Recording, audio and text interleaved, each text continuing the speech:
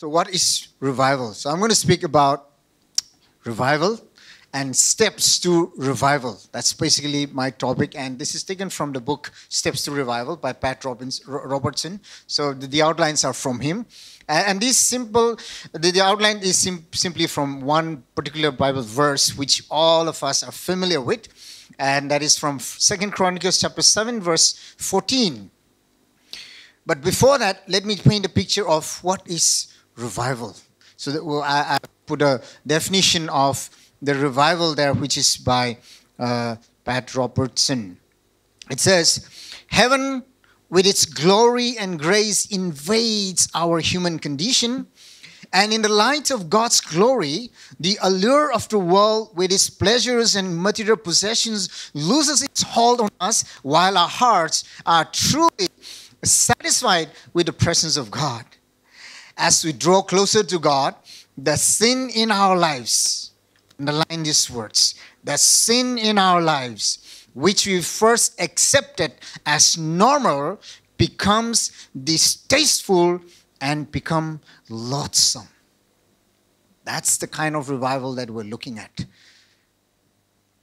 Job in the Bible was referred to as the most righteous person in his generation. But when he, he looked face to face with God, when the holiness of God shines upon him, he sees his sin and he says this.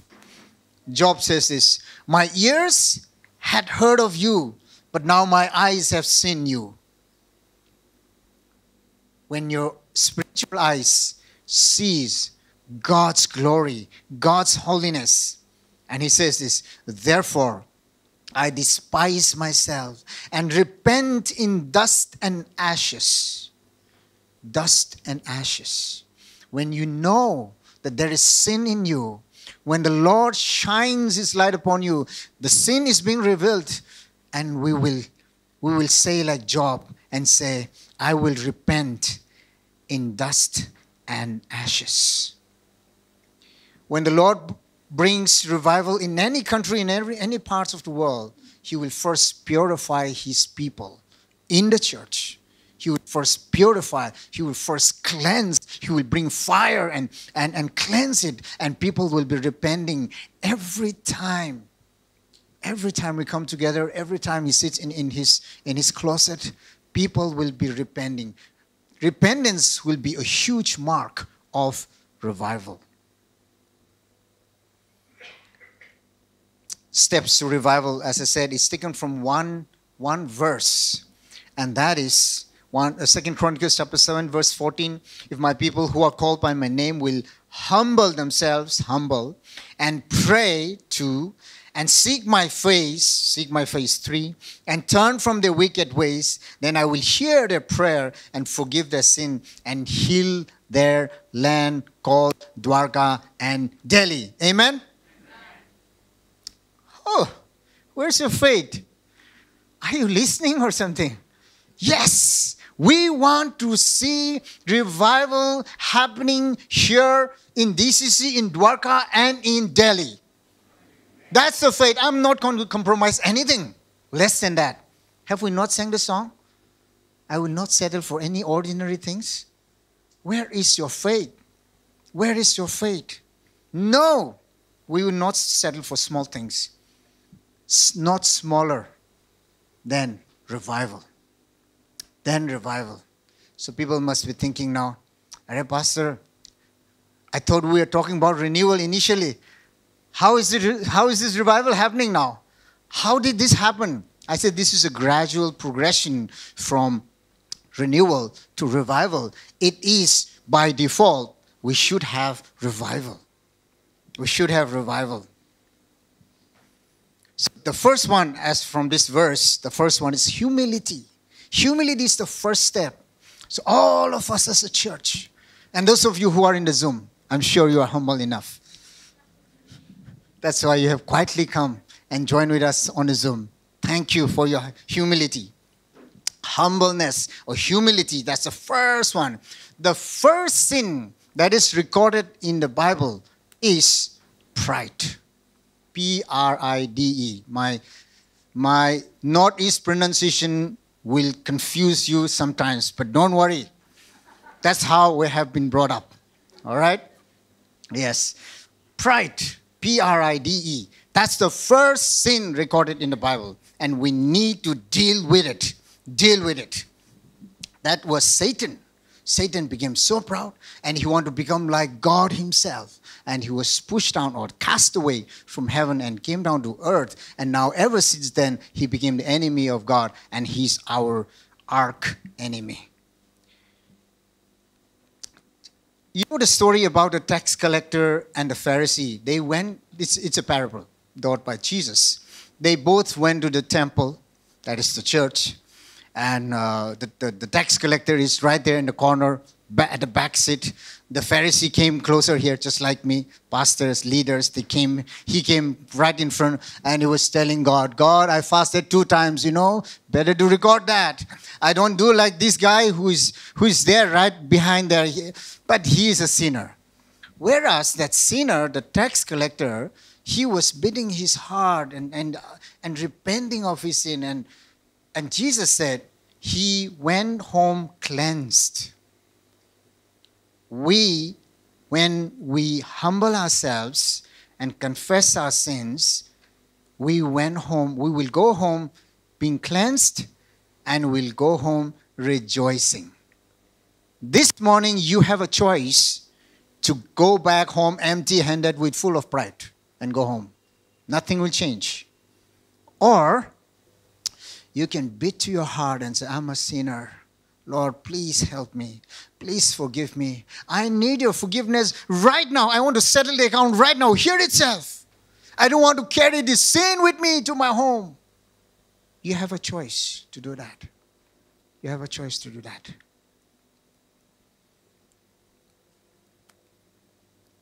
The second one is about a prayer.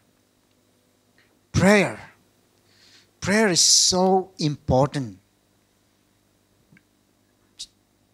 We are asked to pray without ceasing, without stopping. Continuous prayer. Now, there's a story that uh, Jesus, a parable that Jesus told about a neighbor who happened to have a guest all of a sudden in, at night, and he went to another neighbor. Let's say uh, Mr. Y had a guest, and Mr. X is sleeping. Mr. Y went to X house and Y is knocking at the door and say, Hey neighbor, can you give me a bread, please? Because my guest has come and I need that immediately. But the other person is sleeping. So I'm I have slept already. My, my wife and everybody is in the bed already. So please don't disturb us now. He shut the door. But then the neighbor will not give up. He will keep on knocking and pounding the door, pounding and pounding. Suddenly, at, at the end, he just got up took the bread from his fridge and, and shoved it out. I said, Get lost. What is the moral of the story? It is not the love of that man who got up from the bed. No, no, no. He does not have love at all. Zero love. No friendliness, no relationship. He has no pity on that guest also. He has nothing to do with that guest. But what wound that story that, that morning or that night is the desperation of his neighbor. The desperation of his neighbor. Say desperation. desperation. Say desperation. desperation. I want to be desperate in my prayer. I want to be desperate in my prayer. Are you desperate in your prayer? Or prayer is just a convenience for you. Whenever I get time, God, I will pray to you. Until then, hold your peace. I like New, New Living Translation, Matthew chapter 7, verse 7 to 8. Keep on asking, and you will receive what you ask for. Keep on seeking, and you will find. Keep on knocking, and the door will be opened to you. For everyone who asks receives, everyone who seeks finds, and to everyone who knocks, the door will be open. Keep on knocking. Keep on knocking. Every Friday evening, we come here in the church and we pray for only one thing, only one agenda that's revival. we've been doing that, persevering, and we will not give up. We will not give up. We will persevere in this. We will persevere in this. In fact, Auntie Sheila, the other day, uh, she said, Let's commit ourselves to God and commit ourselves to this prayer for revival, all of us. So let's say one by one, one by one. So all of us, we pray one by one about our commitment to praying for the revival. We have committed ourselves to pray until we see revival in our church. And my challenge for all of us is that would you like to join to prayer on Friday evening? I understand the Sunday morning chaos. You have a children. So I understand. But Friday evening, the weekend is going to start and it's 8:30.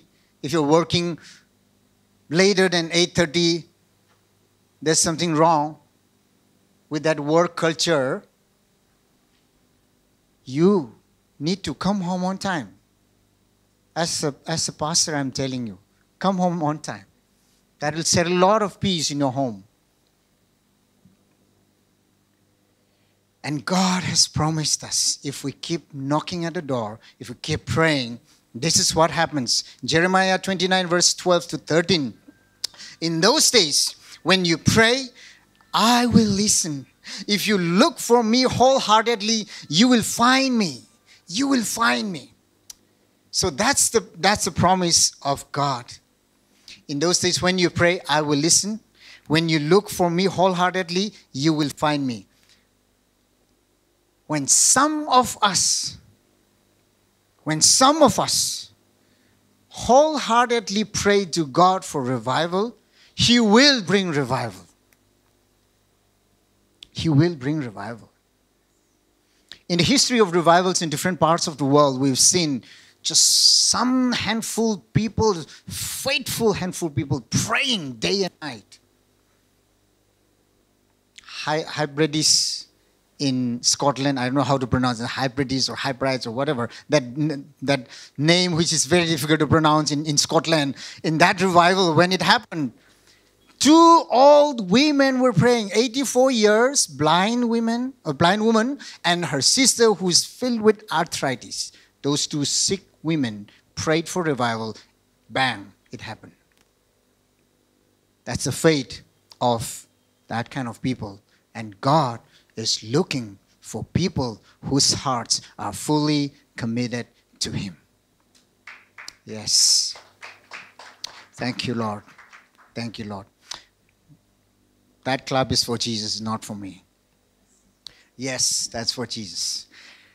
Seeking God's face. That's the third one, according to that verse. Seeking God's face. Seeking God's face. You know, seeking God's face is different from praying. Praying is that you have list of things that you pray and ask the Lord, please do this, do this. But seeking God's face is higher, I would say that's higher than prayer. Numbers chapter 6, verse 24 and 26, which is which has become so popular all over the world because of this song, The Blessings by Kari Jobe and, and her husband, right? So they sang this song about the blessings. The Lord bless you and keep you. The Lord makes his face, shine upon you and be gracious unto you. The Lord turns his face toward you and give you peace. Right? I have to be a little more religious, it not? Sound like a real priest and with that tone. This is about seeking the face of God and God's face shining upon you, the favor of God rest upon you because you are not acting like a child, but you're acting like a matured son and daughter of God, willing to spend time with Him in the presence of God. As the song says, no? Open up the sky, open up the sky. We've sang this couple of times. Last week also we sang, and it says this. The song is up there. It says, Open up the sky, fall down like rain. We don't want blessings, we want God. Open up the sky, fall down like fire. We don't want anything but you, Lord. our beloved Jesus. We just want to see you in the glory of your light. Earthly things don't matter, they just fade and shatter when we are touched by the love divine. That is seeking the face of God. Most of us, most of us, sadly, our prayer is full of marketing lists. Tick one, two, three, four, five. There is no love relationship between you and God. There's no love relationship. God is something like you ask Him and He gives you. You pray, you love God in a way so that you can get something out of Him. And that's why many of our prayers did not get any answer. Any answer. So, my petition or my appeal to all of us is that let's go beyond this petition stage. When we were, ch- we were children, when we were toddlers, we just cry whenever we want to do anything. When we, we want anything, food, we cry. Thirsty, we cry. Right?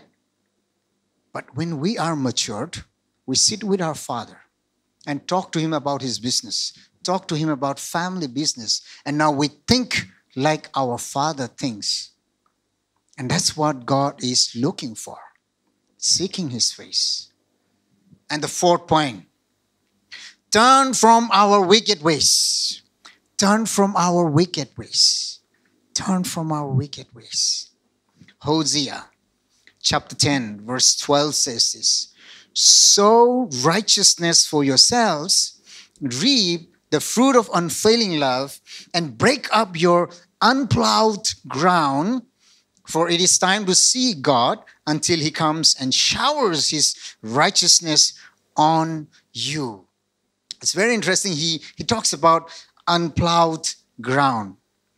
Israelites, the story of Israelites are very, very relatable to me because I come from a farming background and they, are, they have this farming. And so I can immediately relate about unplowed ground. It's, it's, it's something like this unplowed ground is is not completely uh, uh, a virgin mountain where you have to start cultivating. No, no. People have cultivated that place, but then for certain years they have not been cultivating. It's not been tilled, so the land is lying vacant, barren. We in our in our dialect we call it rampokai.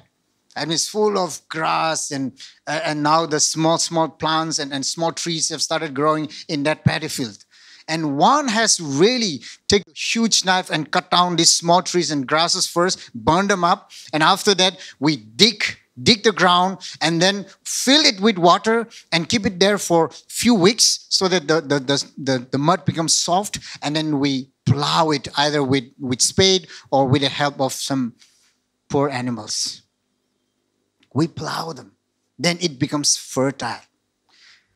Some of us we have met Christ, we have surrendered to, to, to Christ, but we have started neglecting reading the Bible or praying or, or neglecting meeting believers like this in the church or in the cell group.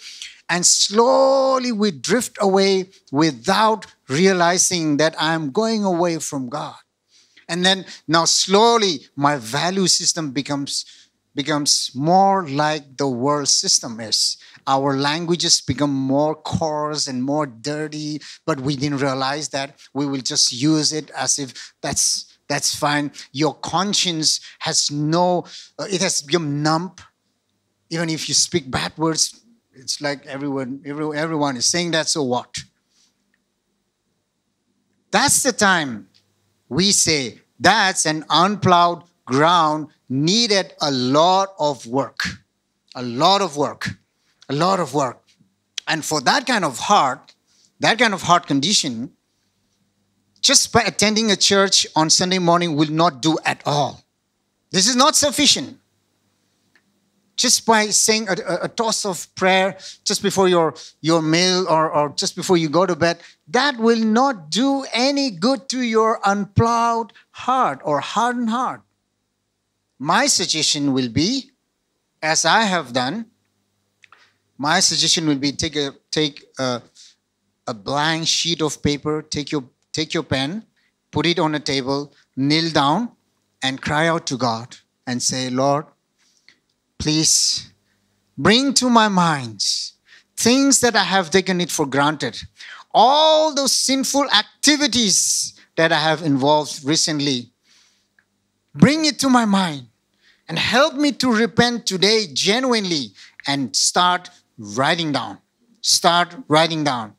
I mean, I can remind us so many sins that we have taken it for granted.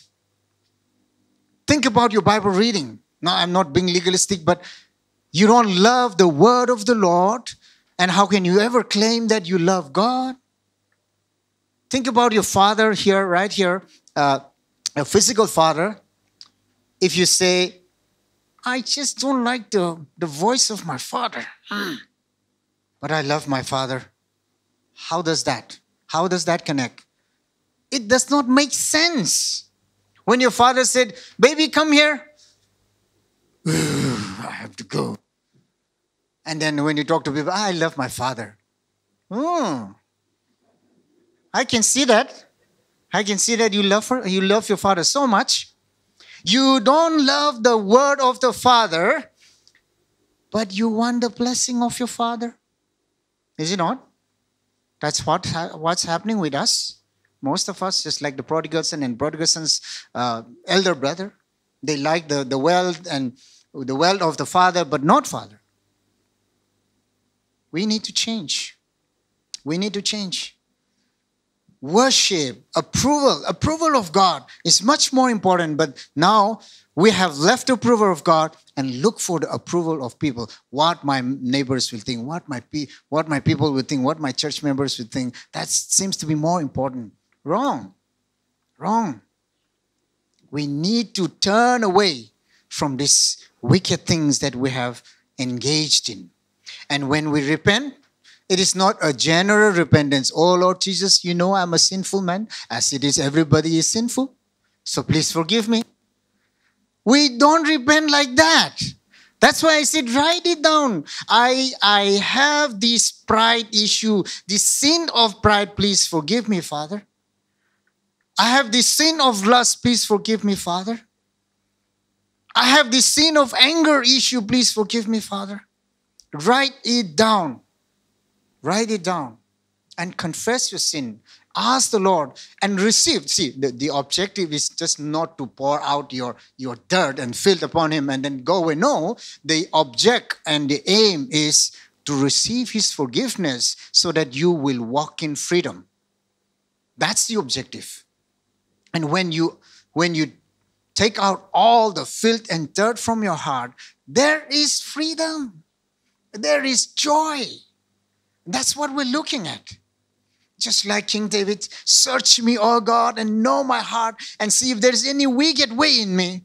Create in me a clean heart, O God, and renew a right spirit within me. We sang this hundred times and never from the heart. That's the problem. We need to repent so that we receive forgiveness and walk in freedom. Walk in freedom. Some of us, we're married. I hope we are, we are in good condition or good terms with our spouses. The Bible says that if I have a problem with my wife, Achui, my prayers will not be answered. And I think it is the same for her also. So, as married people, we need to have a loving, peaceful relationship with our spouse. Whatever it takes.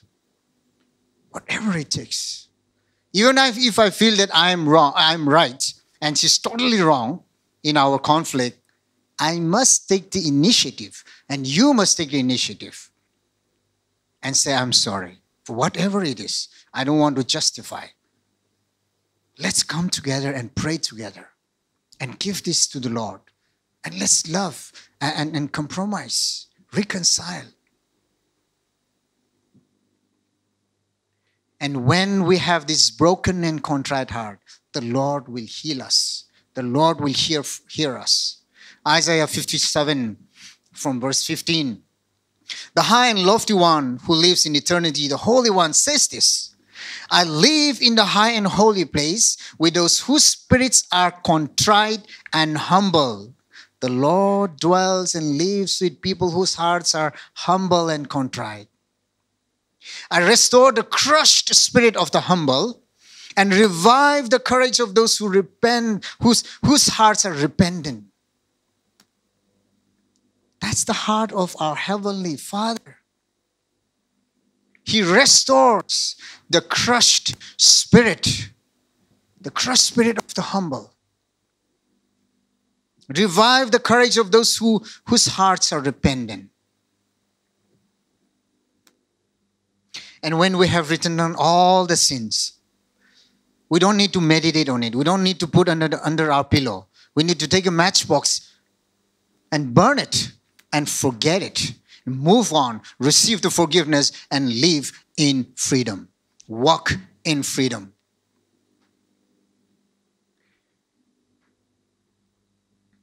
Bible says in, Psalms 103, verse 12, He has removed our sins as far from us as the east is from the west. He has removed us, removed the sins away from us, and He has never remembered again and have uh, held that against us. He has forgiven and forgotten. It's we who has the problem. We need to move on.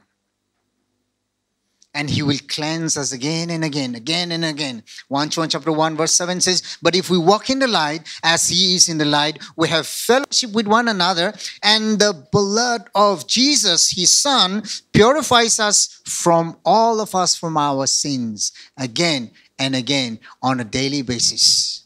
The blood of Jesus will purify us on a daily basis.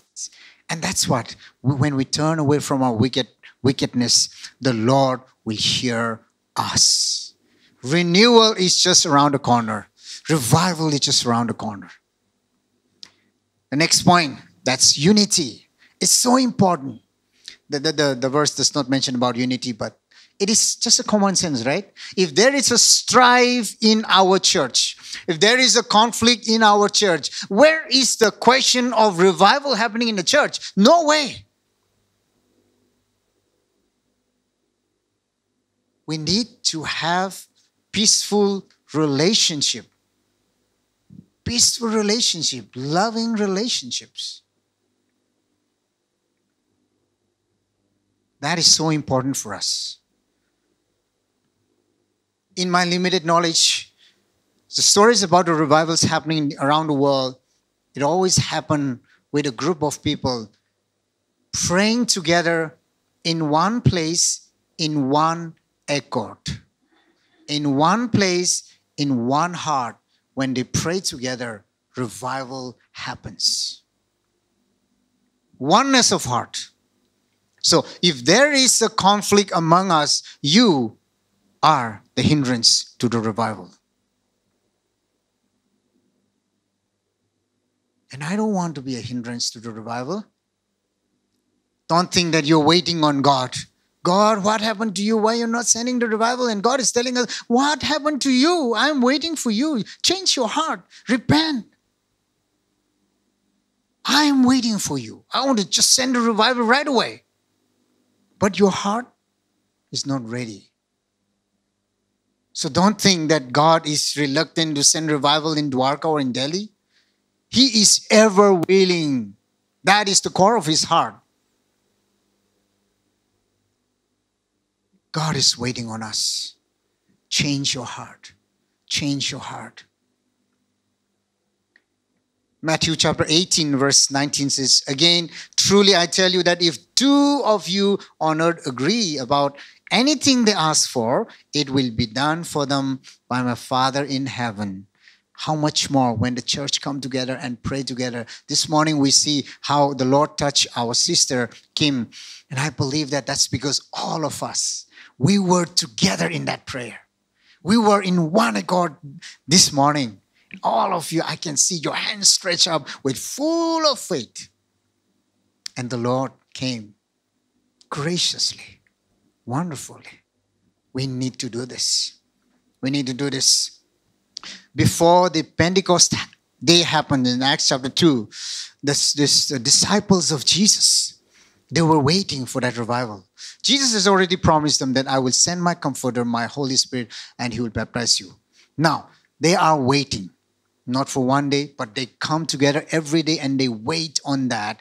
Not one day, two day, three days, four days. Went on almost 50 days. It's after this Passover that the 58 on the 58 50 day that the Spirit came upon them on the Pentecost. Waiting period in unity is important, is helpful for us as a church.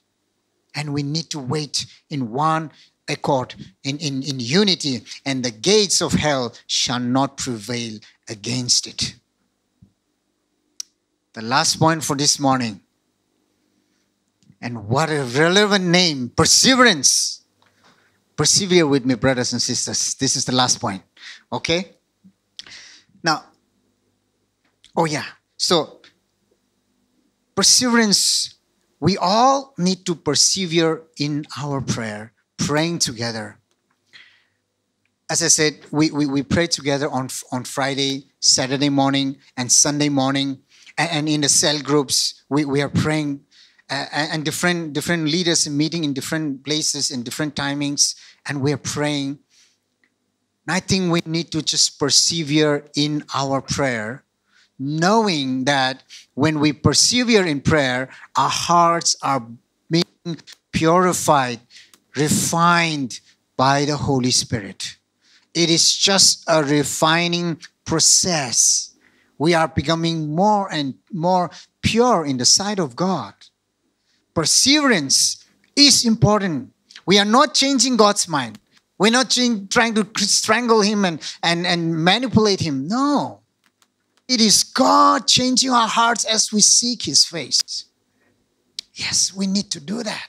We need to persevere in that. We need to persevere in that. And the last verse for us is Hebrews chapter 10, verse 35 and 36. It says, Therefore, church, there's no church here, but I'm saying, church, do not throw away your confidence that the revival will come, which has a great reward. For you have need of endurance or perseverance, so that when you have done all the will, uh, when you have done the will of God, you may receive what was promised. You may receive what was promised as we persevere together in Christ. As we persevere, we will receive it. And now, in conclusion, I want to give you my picture of revival. Because you see, whenever I pray something, I have a picture that I need to uh, achieve that. Is it not? You also pray for something else let's say you pray for a job. You have uh, you have something the kind of job that you want to have and you pray to god for that. You're not just blindly praying, praying that lord just give me any job just any job will do. No you have something in your heart. And, and like that we as a church we want to dream together a picture that we will we will pray towards and persevere towards. And that's it. Phase one will be our church the prayer movement will happen in our church. Prayer movement has begun.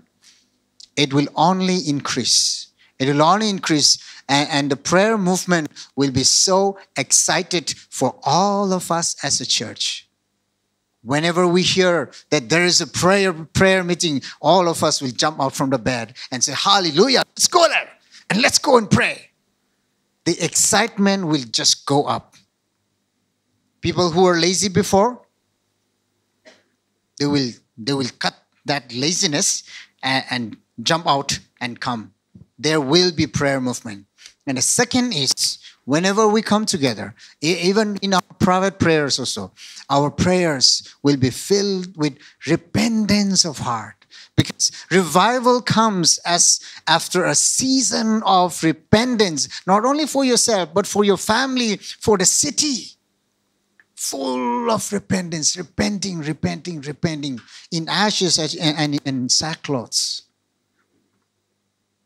And then we will see the revival in our church.